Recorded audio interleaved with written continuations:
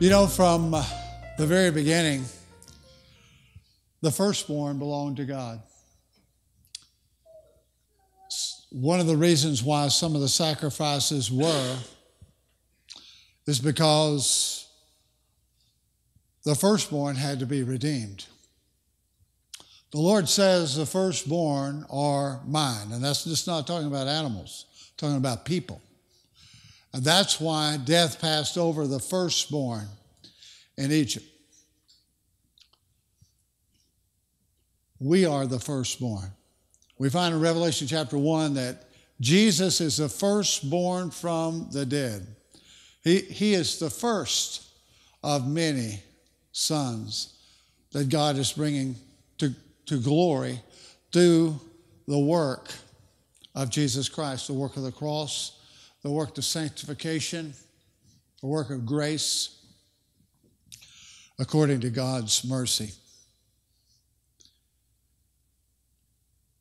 We find even in the very beginning that when Abel offered an offering to God, he took from his flock. He offered a lamb. We're reminded of Abraham, who God asked to give his only son Isaac. And he was willing to do that. But as he was preparing to offer his only son, the son of promise, God stopped him and he provided. And you know, Isaac asked his father, Well, we have the wood, we have the fire, but Father, where is the lamb?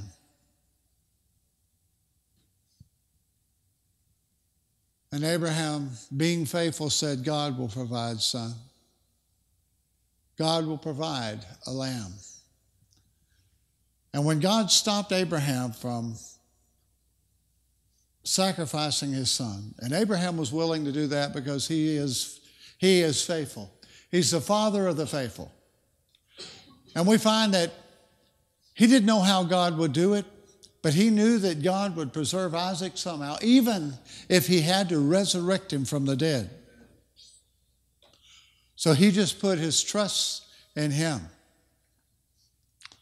But can you imagine what it would be like coming back home to Sarah without Isaac?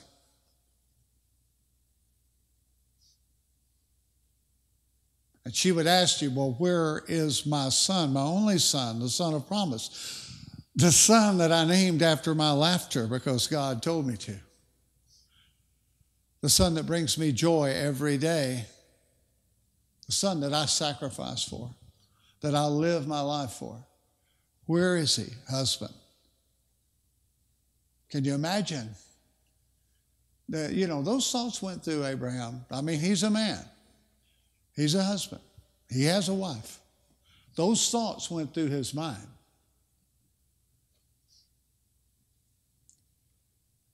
It wasn't just the loss of a son or the, even the act of having to offer your son yourself to bring the blade of a knife down and bleed out the life of your son, your only son, the son of your old age.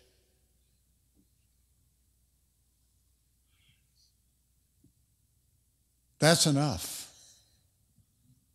But then to face what he would have to face later. I mean, we know what happened when he circumcised him. I mean, how Sarah reacted to that violently. But Abraham, regardless of all everything, was willing to do what God said because he trusted God. And God provided a ram. He provided a sacrifice on that day. I want us to think about the Lamb of God today. Can you see the Lamb? Do you see the Lamb? Are you watching for the Lamb? Are you looking for the Lamb? How much value is the Lamb to you? How much time do you think? How much time do you do you set aside or in your life that you're thinking of the Lamb of God. You know, John said, Behold, the Lamb of God that takes away the sins of the world. Also says he, he knew Jesus. Jesus was his, his cousin. They probably grew up together. They were just six months apart. But it says there in John chapter 1 that seeing Jesus, he knew even before he came, even before the, the Holy Spirit rested upon him, rested upon him as a dove, even though that was a sign to John. God told him that would be a sign that this is my son, this is the Messiah, this is the Lamb of God. It's a strange thing, though, think. Behold the Lamb of God. The Lamb of God. The Messiah. When all of Israel is looking for a conquering hero, all of Israel is looking for a mighty warrior, a mighty general that will drive out the Romans and give sovereignty back to the nation of Israel.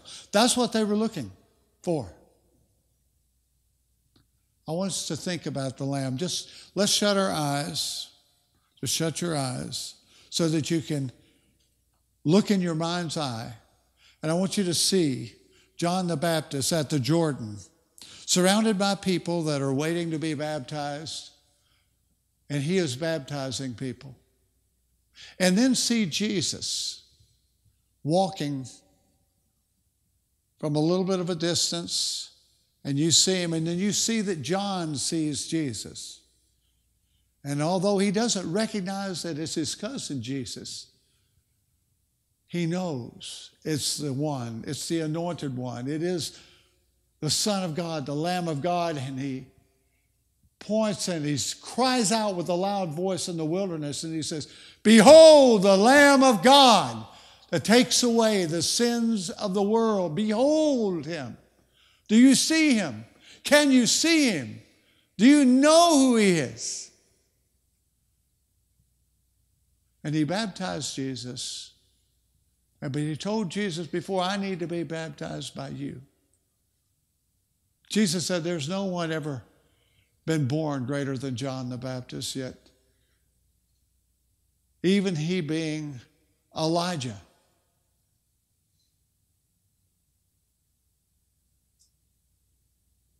What an unceremonious death for that great man. At the whim of a young girl being beheaded in prison. Can you see the Lamb? Now, you see the Lamb of God before Pilate. Picture him there. And Pilate is arguing, appealing for his release. I find no fault in this man. And he is there, silence, silent as a lamb, not defending himself, but pouring out himself, laying down himself as that sacrificial lamb that would redeem the firstborn. Hallelujah redeem the firstborn. And picture the crowd as a, many of those in the crowd that had witnessed the miracles had heard a man speak like no man has ever spoken, a man speaking with the authority of God Himself, giving sight to the blind, hearing to the deaf, making the lame walk, and raising the dead. There's many of them there that saw that. Those who hadn't seen it had heard, they had heard about Lazarus. They knew about Lazarus. It had recently happened. They knew that he'd been in the tomb for four days and that Jesus waited. And on that fourth day, he said, Remove the stone. And he cried out, Lazarus, come forth. And life came back into Lazarus. And everyone could see that this man, this Lamb of God, this Jesus, this person who John the Baptist says, Behold the Lamb of God that takes away the sins of the world. Well, now it's a whole lot easier to believe because The dead has been raised. He commanded death to leave and life to come. Behold the Lamb of God. But the crowd cries out. Many of those who had witnessed all those had been had seen it with their own eyes, cried out, Crucify him, crucify him. See it. See it in your mind. And Jesus does not defend himself. And Pilate says, Look, I'm going to have him beaten. And he's beaten so badly, he did not even look like a man. He was not recognized as a, he was just a bloody mess of flesh.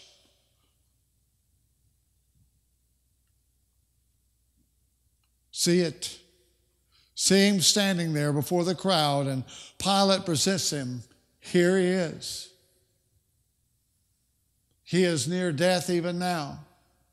He will never be the same. He has been scourged beyond recognition. Let me let him go. Isn't this enough? See it in your mind. And the crowd says, No, it's not enough. Crucify him. And Pilate says, You deal with him. Go stone him. But no, they wanted the Romans to crucify him. They wanted him nailed to a piece of wood because whoever's nailed or hung from a tree is cursed. And they wanted him to be, to be considered to be cursed, that he could never live again. No life. He would never live. No hope for any resurrection for this man. Forever cursed. That's what they wanted. That's what they wanted. It was the devil himself working in their, in their minds, inciting them. See it. Do you see it?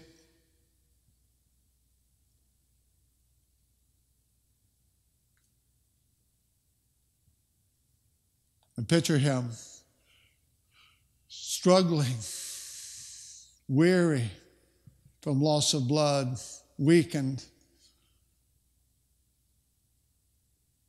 laboring to carry his cross to Calvary. Through the crowds who were mocking him and saying, Who is this man that claimed to be God, that claimed to have done miracles? Save yourself. You save others. Can you not save yourself? See it. See what he endured. The Lamb of God in the form of man. the crown of thorns on his head, blood streaming down his face. And he pushes on and pushes on till his body could not go any farther. And then Simon, the Cyrene, was commanded by the Roman soldier to help him carry the cross. And Simon bends down drops of blood fall on his sandal, cheek to cheek with the Lord, with the precious blood of the Lamb of God transferred over to him. He helps the Lord carry that cross where he will be nailed to it and put on display. See him there, the Lamb of God doing the work of taking away the sins of the world. And see him as a little lamb, just beaten, a little lamb, pierced through. See, was pierced in the side, pierced in the hands, pierced in the feet.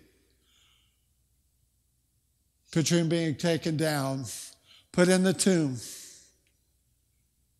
And now picture the resurrection of the Lamb of God. And picture him coming to you and holding out his hands where you could see the holes where the nails had been,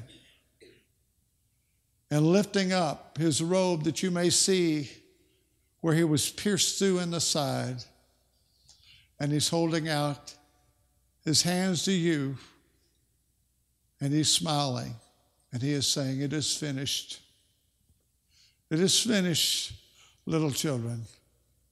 For the Lamb of God has been slain,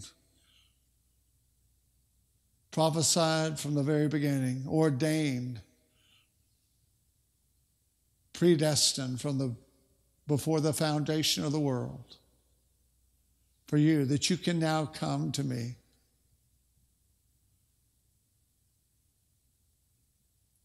You know, you can open your eyes now. I've seen the Lord embracing people. It's very touching. I've seen it. I've seen his face. I didn't see the back of him, I saw the back of some of you.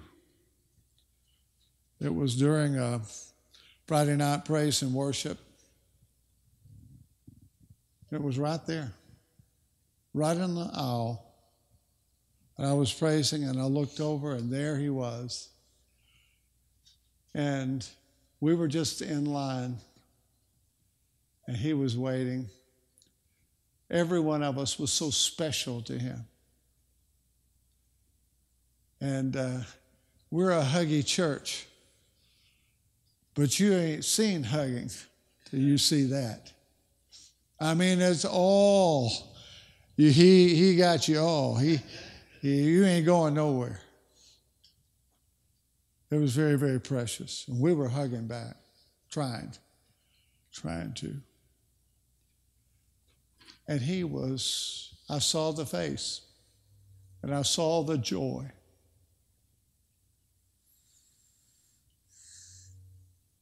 And I thought, you endured what you did for this because there was a great gulf between you and the children. They couldn't make it to you because sin stood in the way. But you laid down your life to make a way.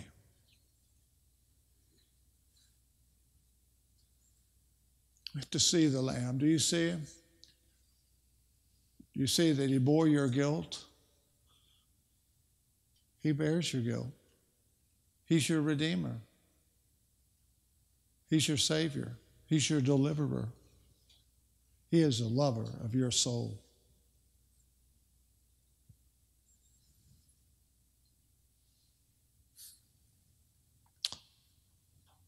I saw a testimony one time that was so powerful.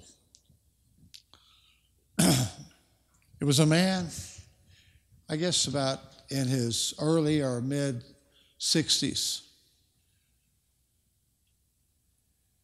He had had a very rough life, was a very mean person, actually wanted to hurt as many people as he could. That was his goal in life. Lived some life of crime. But he was raised on a farm. I forgot which state, but it was here in the U.S. as a boy.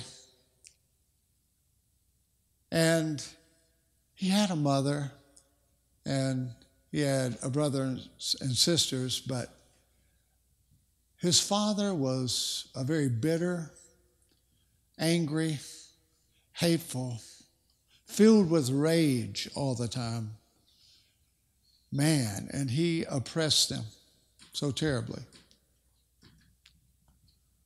So they, they really couldn't do much when he's around. I mean, it was just like a, a shell of a family. That's how he described it. Everyone was just so oppressed and beaten down, mentally and physically, mentally too, that they that there was no close relationship with anybody. It was all fractured. I think the wife couldn't even, you know, and the mother couldn't really extend that normal you know, instinct of love and care for the children. It's just been beaten out of her.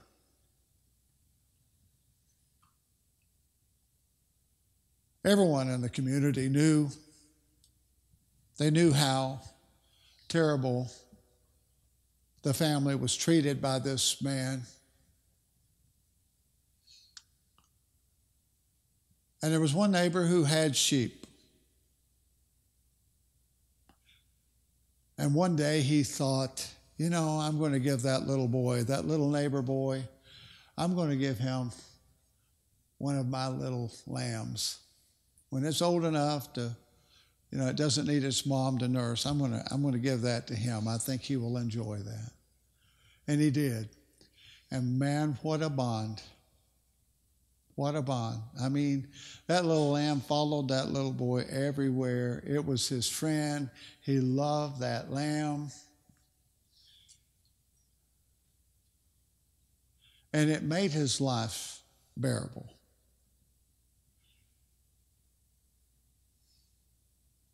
You know, where he would have to walk home from school, he had to cross a field to get to his house. And the little lamb would meet him out there in that field. Every day it would be there. He knew what time he was coming home from school, and it would be out there.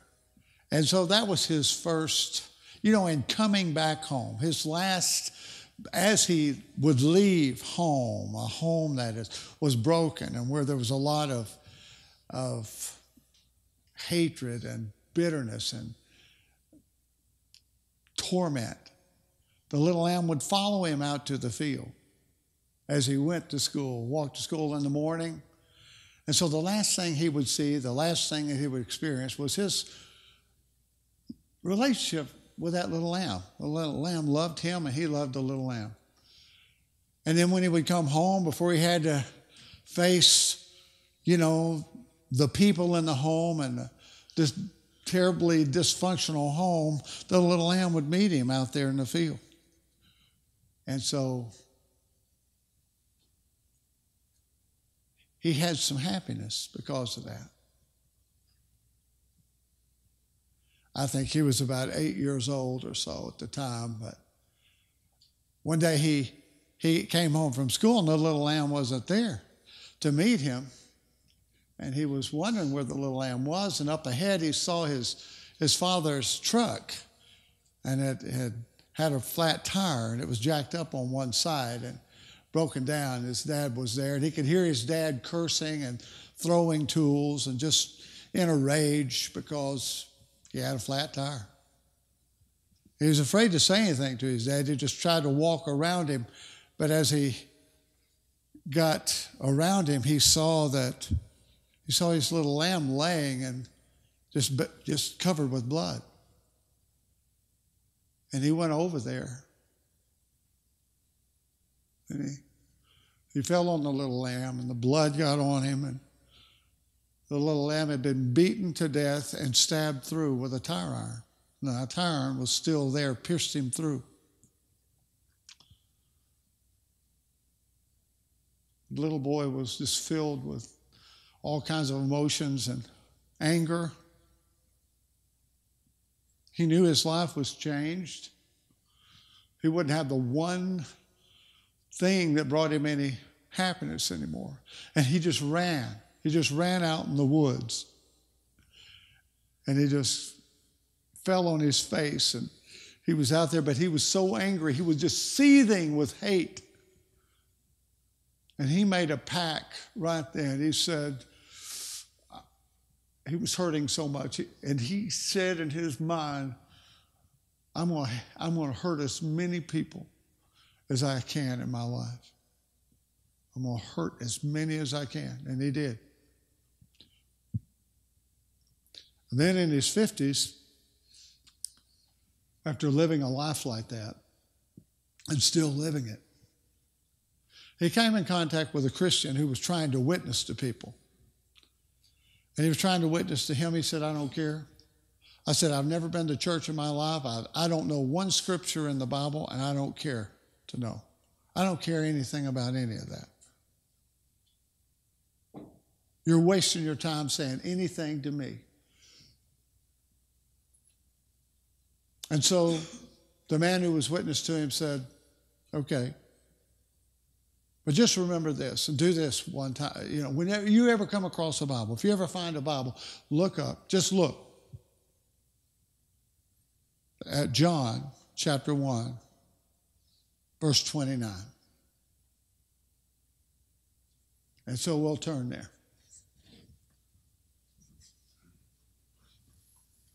He didn't do anything, knew nothing about Christianity.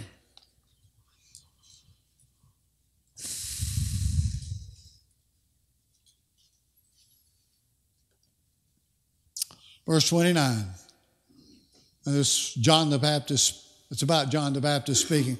And the next day, he, that is John the Baptist, saw Jesus coming to him and said, Behold the Lamb of God who takes away the sin of the world. And when this man read that, he was, his interest was piqued. He's thinking, why is this man calling this other man a Lamb of God? What is this about? So he began to research and read. And then he discovered that there was a heavenly Father who had a lamb, who presented his son as a lamb. And he offered his son, allowed his son to be beaten and pierced through and die for wicked people like him and like his dad. And it spoke to him. And the blood spoke to him. And he's thinking, I had the blood of my lamb on me,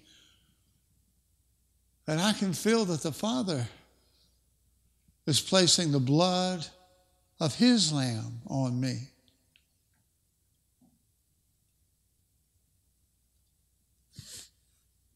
And it changed his life.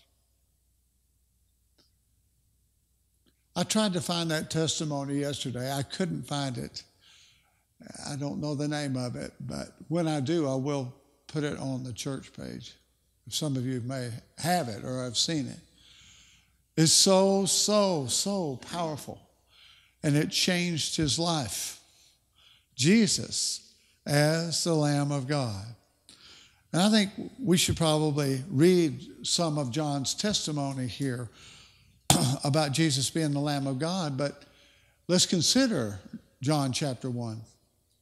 Because John is telling us that this is the Lamb of God, but before, before his testimony, we find John, the apostle, John's testimony about Jesus, that in the beginning was the Word, and the Word was God, and that this Word became flesh and the Word had created all things.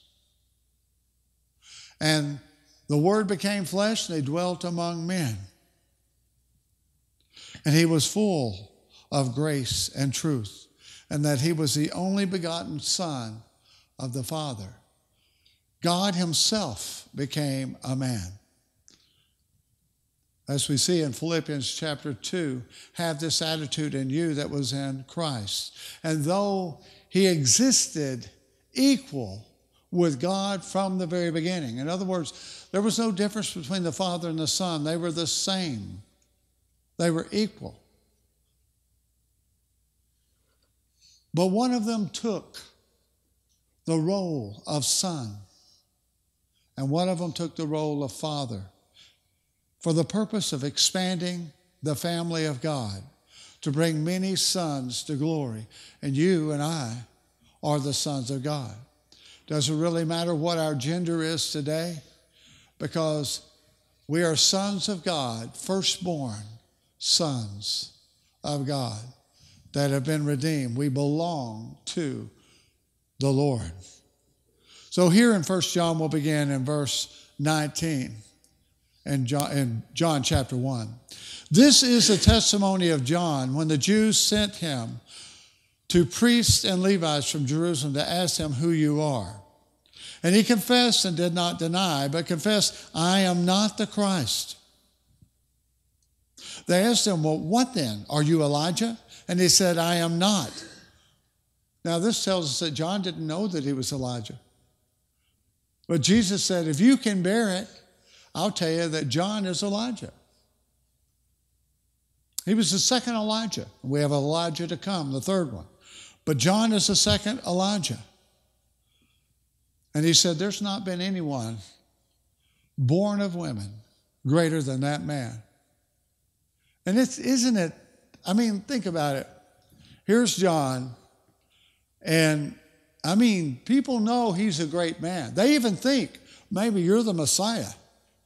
I mean, he's out there dressed kind of, you know, he's in animal skins. He's eating grasshoppers and honey, you know. Uh, so he, he, he is like a mountain man, you know. He's a rough and tumble kind of guy. He's out there living in the wilderness, doing God's work, crying out in the wilderness, Come to me. He didn't go to the courtyard of the temple and preach. He went out where there was no one and he cried out until God brought people. And God brought people. And all of Israel was coming out to be baptized by John. Not sure exactly what all that each person was thinking about in their mind on what was actually happening. He was baptizing by water, but he said, He who comes after me is greater than me. I'm not even, I can't, I'm not fit to untie, untie his shoe. Do you hear what that's saying? Why would you untie someone's shoe? Wash their feet. He said, I'm not even fit to, I, I am below the lowest servant. I am not even fit to untie his shoe. I can't, I, I can't even, I mean, how is it that I'm going to baptize his whole body? Remember what Peter said. You'll never, Lord, you're not going to baptize, you're not going to wash my feet. And he said, Well, if I don't wash your feet, you know, you won't have any part with me. And he said, Well, then wash me all over. Give me a whole bath. Baptize me over from top of my head to the bottom of my feet. And he said, Well, you're already clean. You only need your feet.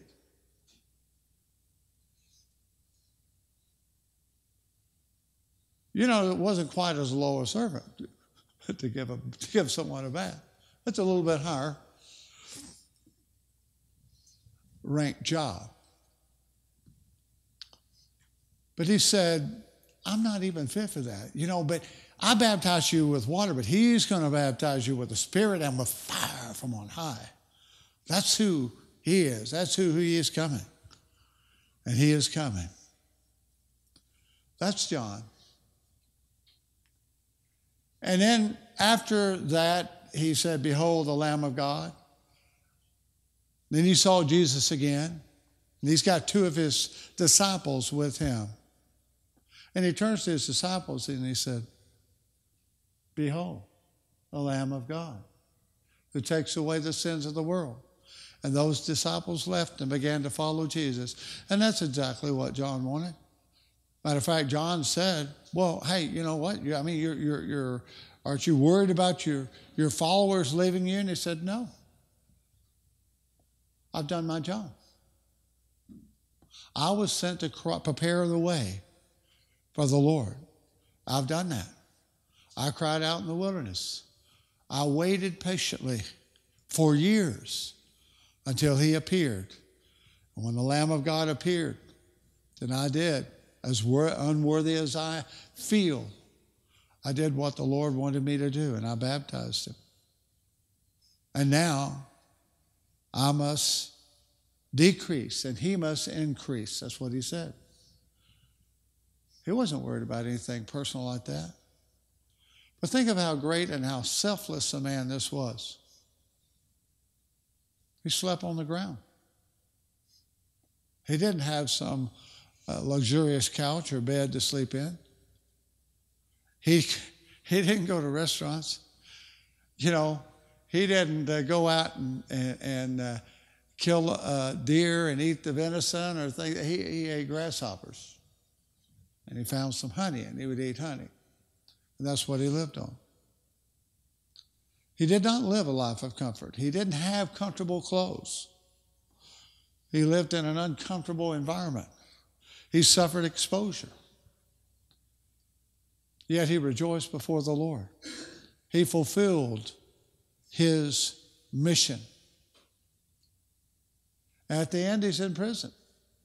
And he begins to have doubts because John thinks the Lamb of God, the Messiah, is a conquering hero, a king who's and a general who is going to push the Romans out. That's what he thought, that's what all the Jews thought. he wasn't seeing any of this happen.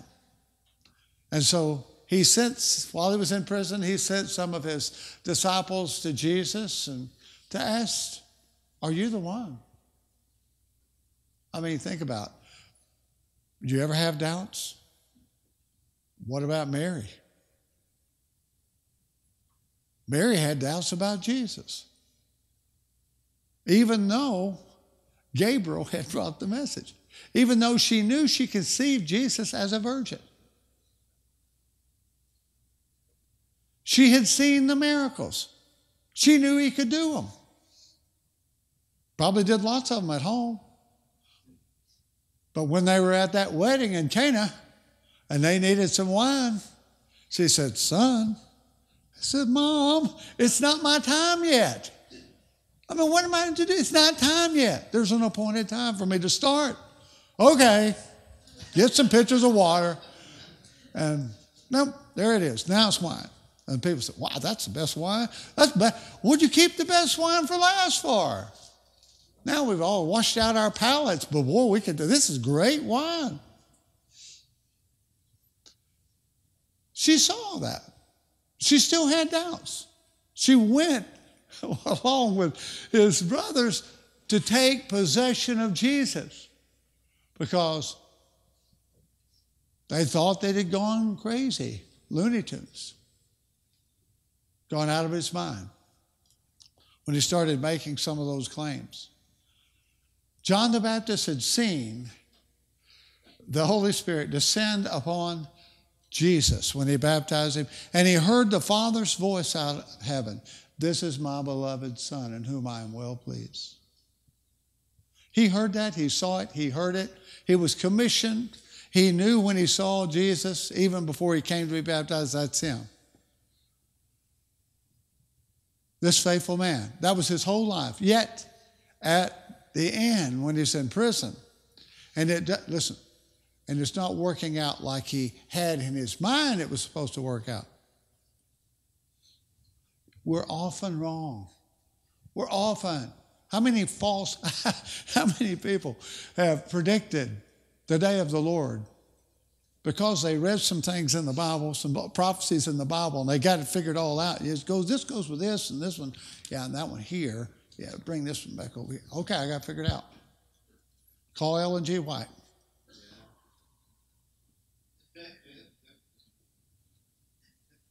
How, how, often, how, many times that work out? Well, they hadn't worked out once yet. I remember Herbert Armstrong predicted the day of the Lord twice. It didn't work out. Because no prophecy can be figured out.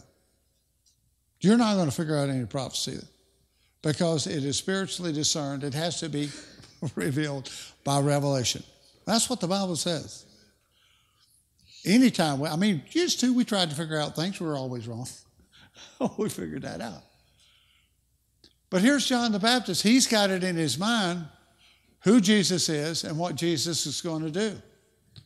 And he's got scriptures to back it up. But he's ignoring some scriptures.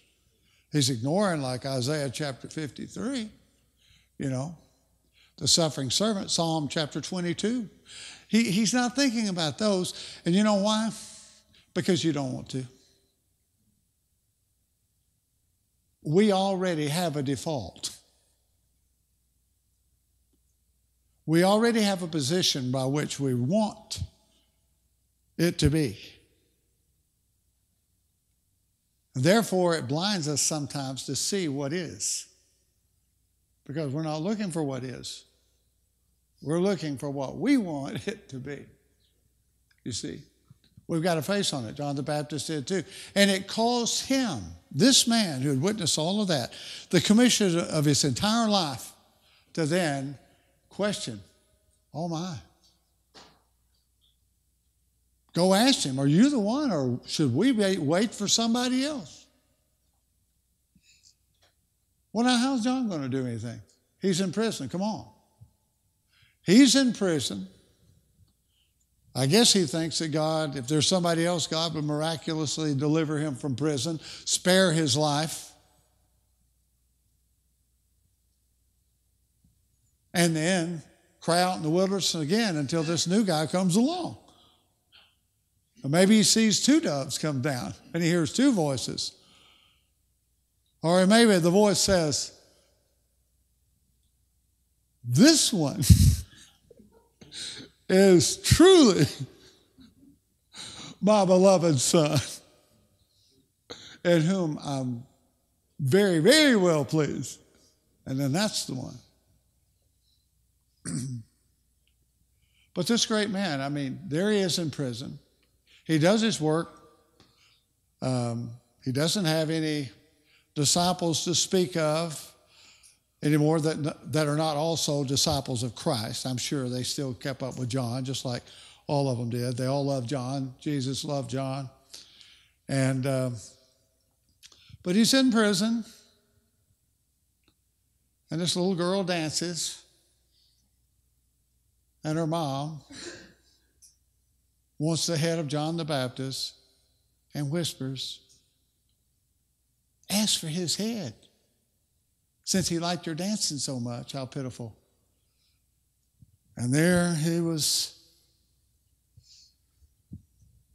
beheaded, not just beheaded, but they deliver his head, this great man, on a silver platter.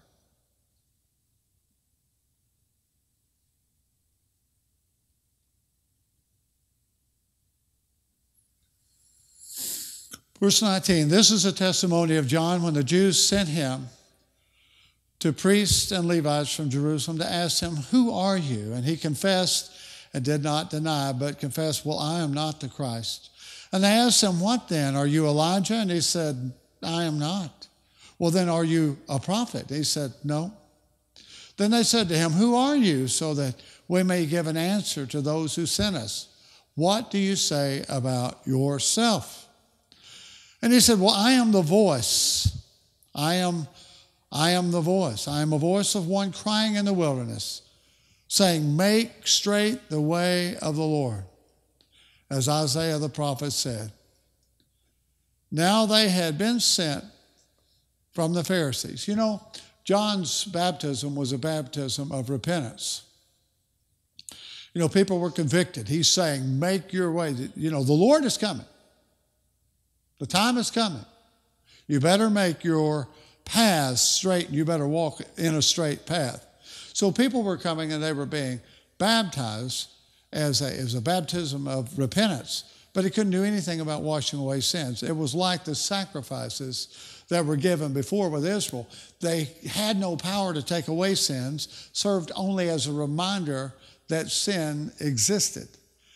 It reminded you that you needed propitiation made for you in your behalf by a righteous sacrifice, the Lamb of God. Now they had been sent from the Pharisees, and they asked him and said to him, Why then are you baptizing? If you are not the Christ, and you're not Elijah, and you're not a prophet. And John answered them, saying, I baptize in water, but among you stands one whom you do not know.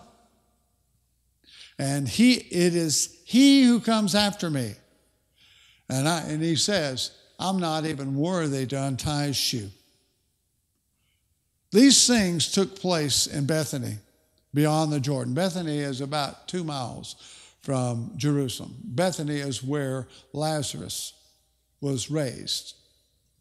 That's why it was such a, you know, a risky thing for Jesus to go to Bethany because you're getting near Jerusalem. You know, there's going to be people uh, from Jerusalem there, especially at Lazarus' funeral or a mourning with the family after he had died and had been placed in the tomb. And of course, the chief priests and Pharisees were looking for Jesus. And they really stepped it up after he raised Lazarus. It was expedited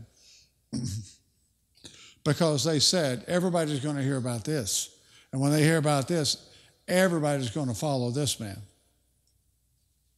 The next day he saw Jesus coming to him and he said, Behold the Lamb of God who takes away the sin of the world. This is he on behalf of whom I said, After he comes, comes after me comes a man who has higher rank than I, for he existed before me. And that's significant because in, in the natural, John the Baptist was actually six months older than Jesus. So John the Baptist here is testifying that Jesus existed before he came in the flesh. I did not recognize him, but so that he might be manifested to Israel, I came baptizing in water. John testified, saying, I have seen the Spirit descending as a dove out of heaven, and the Spirit remained upon him. I did not recognize him. But he who sent me to baptize in water said to me, Upon whom you see the Spirit descending and remaining upon him, this is the one who baptizes in the Holy Spirit. I myself have seen and have testified that this is the Son of God.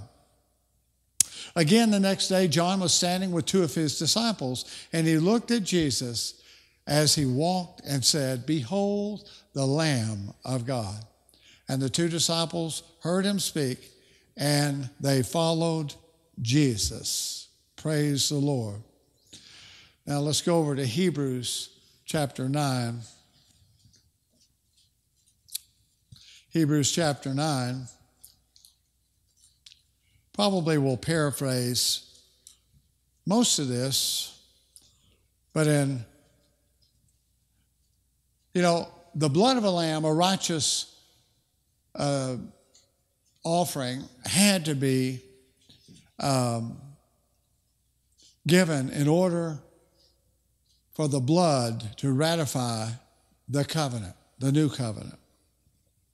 And the blood of an animal would not do it. It had to be the blood of a righteous Lamb of God. Verse 22, it says of Hebrews 9, and according to the law, one may almost say, all things are cleansed with blood, and without shedding of blood, there is no forgiveness. So there's no forgiveness without the shedding of blood. Therefore, it was necessary for the copies of these things in the heavens to be cleansed with these. That means the, the animal sacrifices. But the heavenly things themselves with better sacrifice than these. In other words, it wasn't enough. It had to be something other than the animals. For Christ did not enter a holy place with, with hands, a mere copy of the true one, but into heaven itself, now to appear in the presence of God for us. Nor was it that he would offer himself often as a high priest enters the holy place year by year with the blood that is not his own. Otherwise, he would have needed to suffer often since the foundation of the world. Now, that's why Jesus is the high priest Melchizedek, and we are a royal priesthood of the order of Melchizedek. Therefore, we're not, we're not only greater than that of Levi and Aaron, we preceded that priesthood because the priesthood that we're a part of had no beginning of days nor end of days, just like, just like uh, Melchizedek, who is Jesus. Verse 26 Otherwise, he would have needed to suffer since the foundation of the world. But now, once at the consummation of the ages, he has been manifested to put away sin by the sacrifice of himself and therefore he gave himself as the Lamb of God. And inasmuch as it is appointed for man to die once, and after this comes the judgment, so Christ also, having been offered once to bear sins of many, will appear a second time for salvation, notice, without reference to sin. Without reference to sin. Because you have no sin in Christ. We are unblemished. We are pure. Our sin is in the body of death, uh, which is called the body of sin in Romans 7.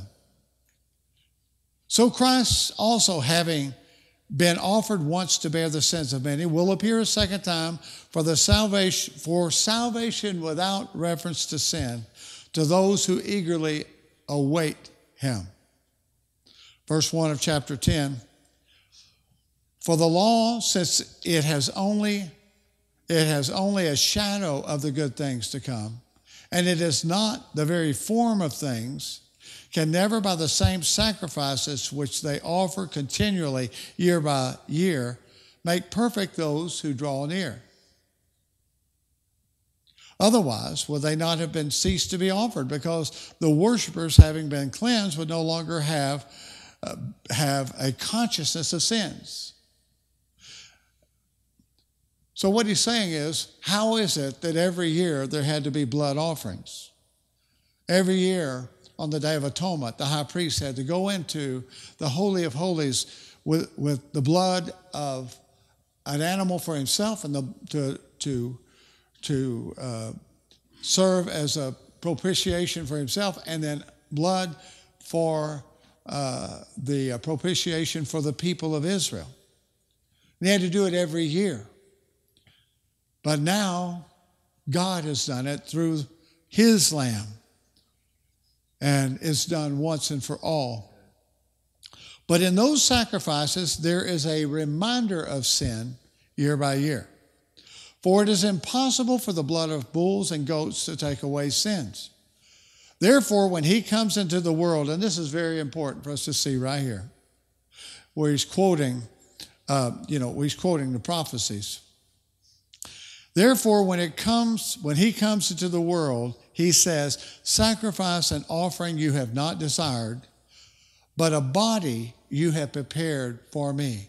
And that's body is Jesus. In whole burnt offerings and sacrifices for sin, you have taken no pleasure. Then I said, Behold, I have come. In the scroll of the book it is written in me, to do your will, O God.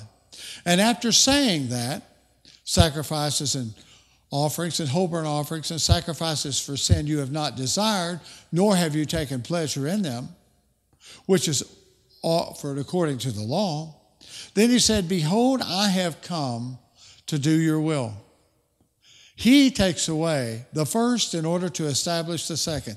By this will we have been sanctified through the offering of the body of Jesus Christ once and for all. Verse 14. For by one offering he has perfected for all time those who are sanctified.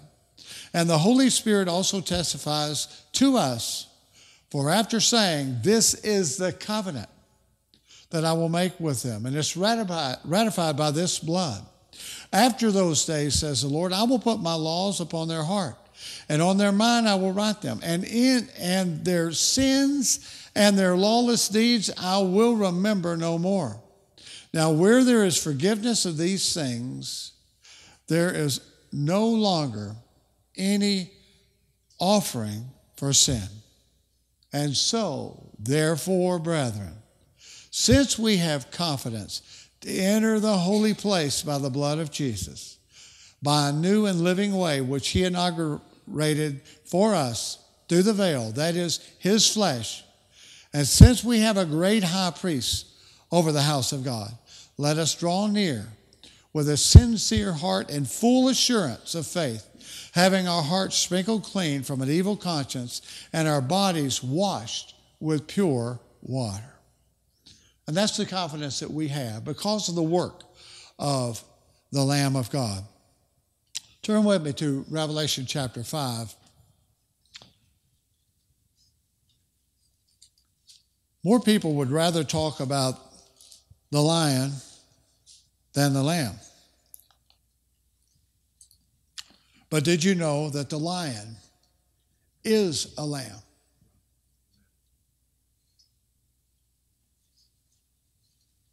A lion, the lion of the tribe of Judah, the Bible says here in chapter 5, is a lamb.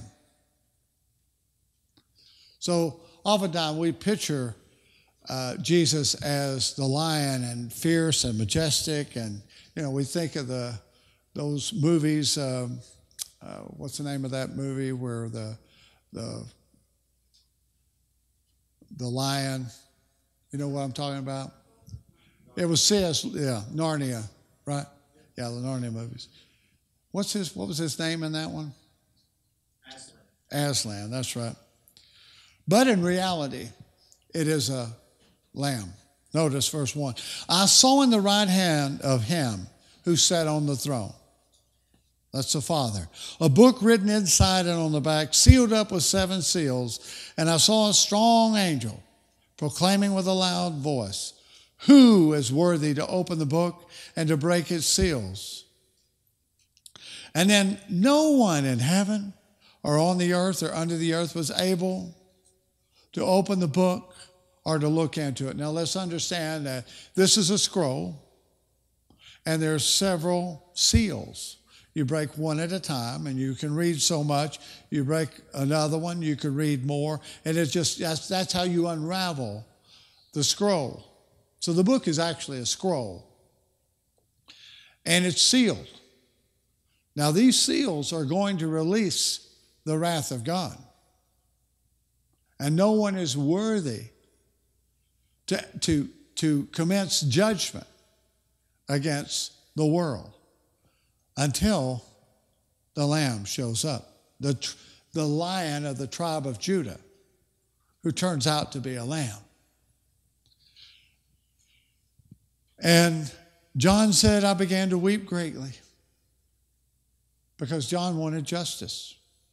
He had seen the persecution of the saints. I mean, John is in his 90s at this time. He's seen Jerusalem fall. He's seen, uh, you know, Christians burn in Nero's garden. He's seen that. He's seen Christians blamed for the fires of Rome by the Emperor Nero. He's seen all that.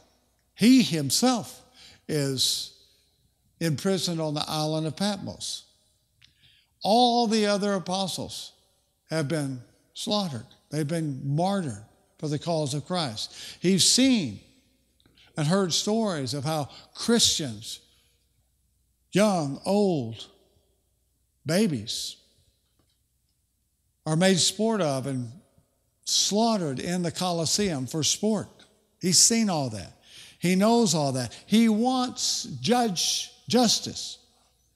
And no one is able in heaven or on the earth or under the earth, anyone who has ever even lived.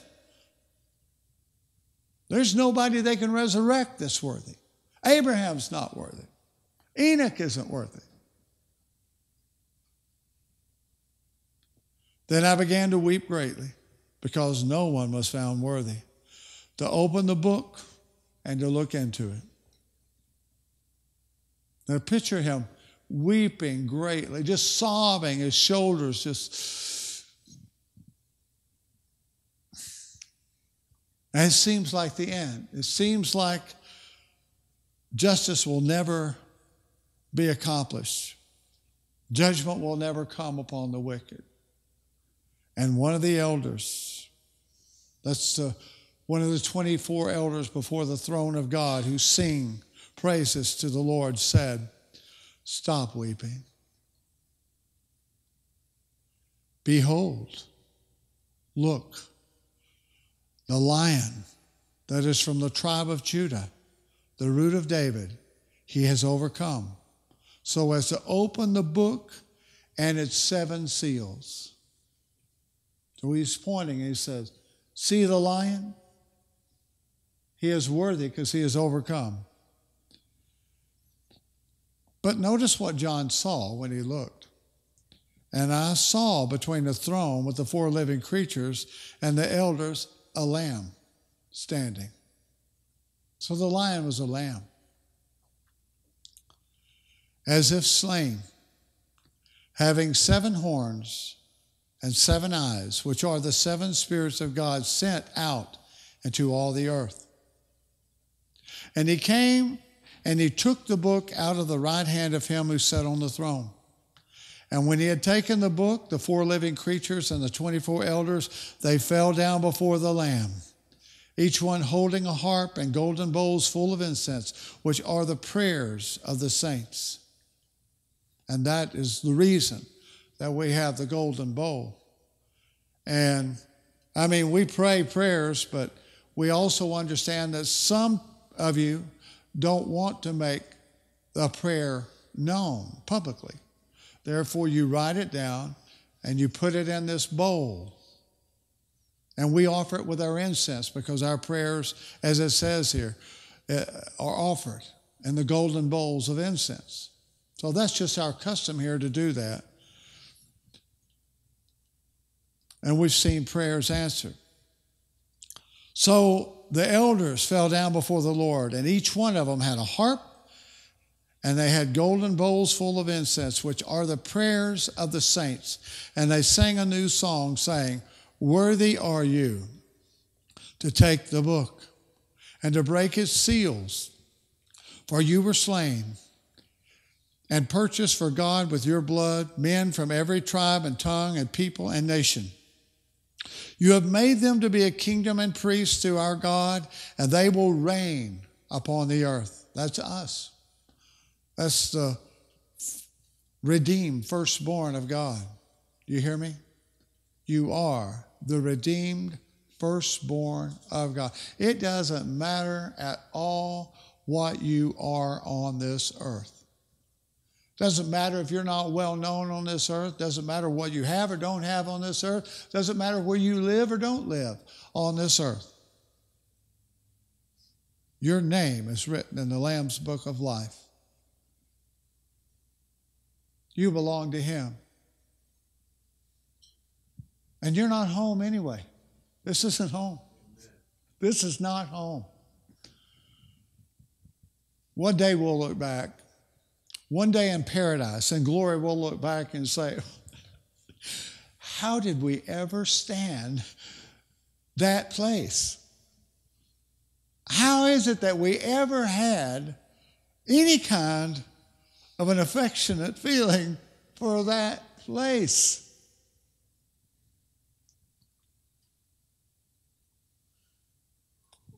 You know, we will we deal with we deal with emotions and feelings and thoughts that we don't think anything about. We don't notice them, usually, because that's what it is to live in this world. There's no one in here at perfect peace. No, nobody. We know in this world we have an enemy. We know that at any given moment, an asteroid could come right through the roof and kill all of us. An airplane, there's an airport right over here, an airplane could just do a nosedive and crash right in here and kill, kill all of us. That could happen. It could be some maniac that demons have stirred up that try to break in here and, and kill us all. It happens. It happens doesn't it? Things like that even happen in America, but they happen in the world. Look at what's been going on in Africa, and then what happened with, with uh, you know, uh, in the Middle East with ISIS. I mean, and before that, Al Qaeda. I mean, it's, it's just terrible. We're not really secure. There's enough weapons in this world to destroy everyone on this earth many, many times over.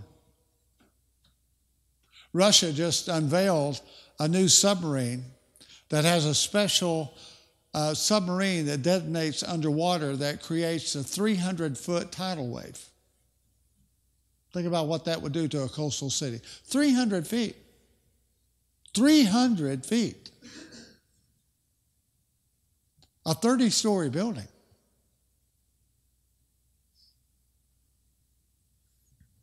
You have enemies. You don't know what the, the devil is, is the devil is, is he, he's got a strategy for every one of us. Right now, he's busy preparing somebody to be a thorn in your flesh. And yet we'll be so surprised when that happens.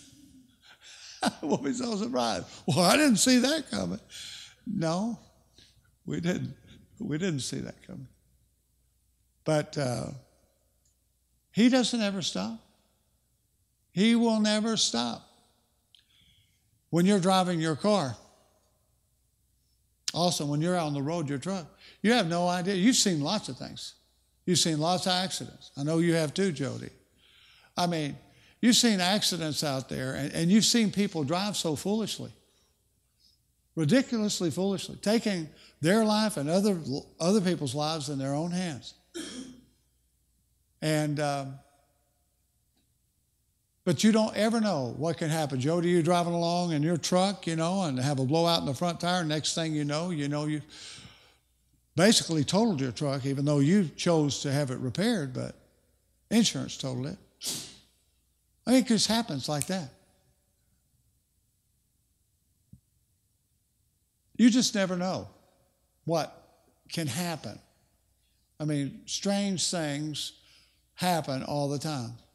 While we're sitting here having these services, there's been hundreds, thousands of people will die. Some of them be natural deaths, some of them will be accidents, some of them will be, you know, perpetrated by other people. Animals kill people. We live in a world where we have to be alert. And we don't even think about that. You're never totally at peace because you do not know what's coming around the corner next. You don't know, uh, you know, who's going to confront you and how and uh, why. You know, just because of who you are in Christ. And the devil's stirring them up. You don't know. When we have our tent meetings, we don't know who's going to show up. We don't know if some guy's going to show up there wearing a bomb or if somebody's going to show up there with a gun. You know, we don't have any idea, but you just go out in faith. That's what it is, though, to live in this world. When our children go on a trip, maybe they're driving, and we're concerned, man, we know that accidents happen every day. We don't want them to be killed in a car accident. We don't want them to be pinned in a mass of twisted, you know, burning hot metal. We don't even want to think about something like that. And there's just other things. We have to be careful when we peel, peel a, t- a potato so that we don't slice our finger open. You know? I mean, there's just lots of things that we have to be careful of. We live on edge. We live in a degree of, you know, fear, a little bit of anxiety, on guard, ready. And all the animals do too, every one of them. They all live that way. Sometimes when I take Abby out in our fenced in backyard, she doesn't want to get, go off the deck because it's dark. And sometimes it just kind of seems a little spooky out there. Oh, yeah, you know, when it's daylight, she acts big, but, you know, sometimes, you know, she'll just like, maybe I'll, maybe I'll hold, maybe I don't really have to go potty. I'll just hold it until the morning, you know. I'll say, no, come on. And I'll go down the steps with her off the deck. Come on out here. You can use it. You can do it. But sometimes it's just that way. On the walking trails, it's the same way. That's what we live like. You, can you imagine what it's going to be like in perfect peace? in paradise. We won't ever even think about that. We, first, we won't even be able to be hurt or die. And there'll be no one wicked to come against us. There'll be no predators that we have to worry about. There'll be no accidents. That's the glory. And we won't miss this place. We're not going to miss this existence at all. We're going to say, wow, what a difference. You know, sometimes uh, until you're set free, you don't know how, how how much you're in bondage until you're set free. Once you're set free, you say, wow, you know, I was really in bondage. Verse 11 Then I looked and I heard the voice of many angels around the throne and the living creatures and of the elders, and the number of them was myriads of myriads and thousands upon thousands. And they were saying with a loud voice, Worthy is the Lamb that was slain to receive power and riches and wisdom and might and honor and glory and blessing.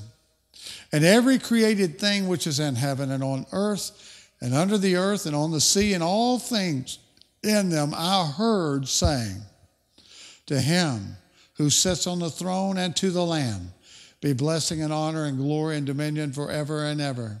And the four living creatures kept saying, Amen. And the elders fell down and worship. Chapter 17. You know, this is a chapter about Babylon the Great, but in verse 11, notice the beast which was, so this is the end time beast, a revival of the Roman Empire, which is probably the European Commonwealth of Nations. The beast which was and is not is himself also an eighth as, and is one of the seven, and he goes to destruction. The ten horns which you saw are ten kings who have not yet received a kingdom, but they receive authority as kings with the beast for one hour. These have one purpose, and they give their power and authority to the beast. These will wage war against the Lamb, and the Lamb will overcome them because he is Lord of lords and King of kings, and those who are with him are the called and chosen and faithful. And then we'll conclude with chapter 12, verse 10 and 11. Chapter 12, verse 10 and 11. Afterwards, I'll call Austin to come up and close us in prayer and ask a blessing on our potluck meal. Revelation chapter 12, verse 10. Then I heard a loud voice in heaven saying, Now salvation and the power and the kingdom of our God and the authority of his Christ have come. For the accuser of the brethren has been thrown down, he who accuses them before our God day and night. And speaking of us, and they overcome him because of the blood of the Lamb. How do we overcome him? The blood of the Lamb.